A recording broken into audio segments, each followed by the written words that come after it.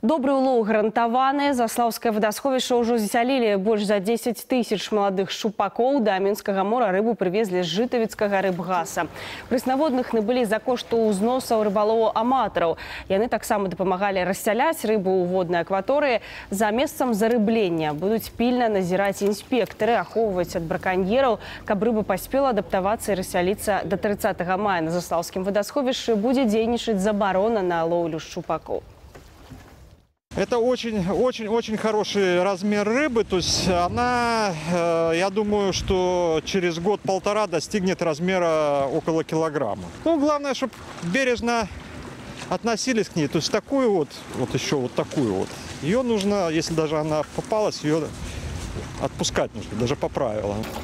Дарэчы, вясна самы спрыяльны час для зарыблення водных аб'ектаў. Робіцца гэта не толькі дзеля аматараў добрых уловаў, але і для папаўнення біялагічнага балансу.